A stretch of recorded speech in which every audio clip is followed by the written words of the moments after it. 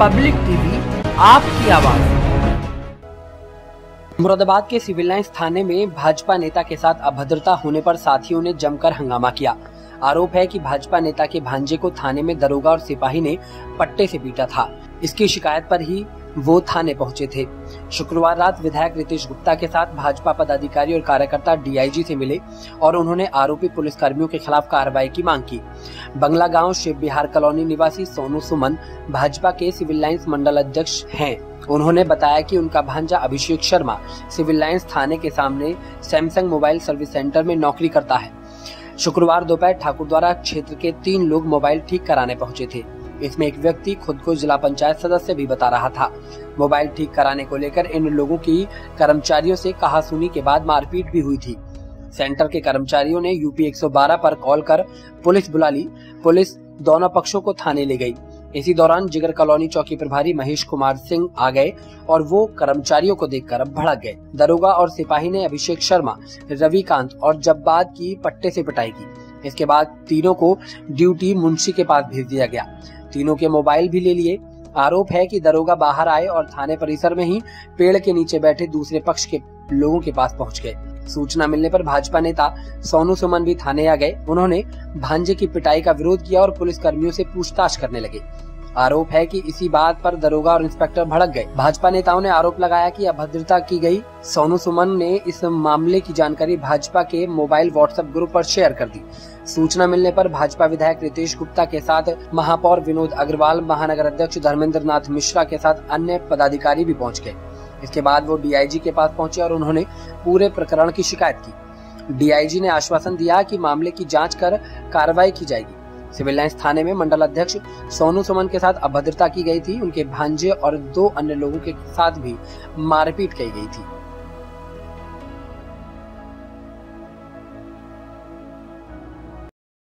एक सैमसंग का एक सर्विस सेंटर है। वहाँ पे कुछ लोग मोबाइल सही कराने आए थे। तो सेंटर वालों से उनका कुछ विवाद उसमें हो गया था। सेंटर वालों ने 112 पे पुलिस को बुला लिया था। 112 की पुलिस दोनों पक्षों को थाने पे ले आई थी। थाने पे आने के बाद जो कैंप चौकी का चौकी इंचार्ज है, महेश कुमार सिंह, उसने सैमसंग के जो एम्प्लॉयज़ थे, उनके साथ अपराधियों जैसा सलूक किया, उनके साथ मार पिटाई करी, पट्टों से उनको पीटा गया। जब हमारे मंडल अध्यक्ष सोनू सुमन जी को इसकी सूचना मिली तो वो थाने पहुँचे।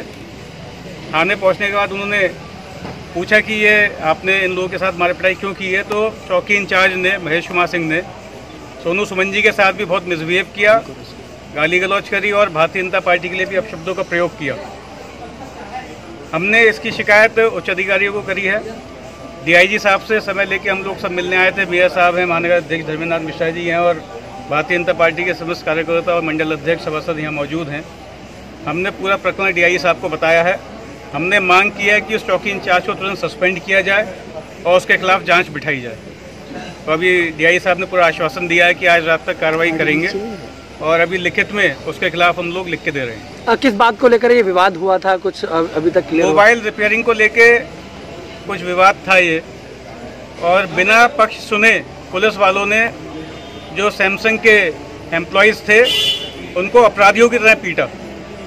उसके पीछे ये भी बताया जा रहा है कि एक बार ये चौकी इंचार्ज मोबाइल सेंटर पे अपना मोबाइल ठीक कराने आया था। मोबाइल सेंटर वाले तो एम्प्लॉयज़ वहाँ बैठे रहते हैं उन्होंने चौवालीस सौ रुपये उसको बताया था चौवालीस सौ रुपये लगेंगे। तो महेश कुमार ने कहा कि मैं पुलिस वाला हूँ मैं चौवालीस सौ रुपये दूँगा क्या मैं फ्री में सही कराऊँगा?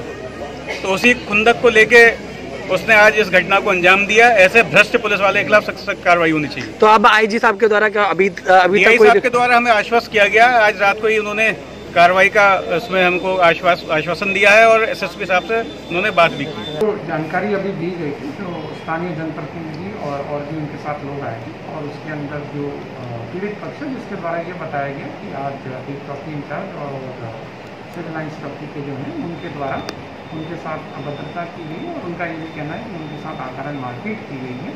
और ये भी कहना है कि दोनों पक्षों के अंदर सुलह भी हो गया था। उसके बाद भी उनके साथ इस तरीके से घटना की गई है।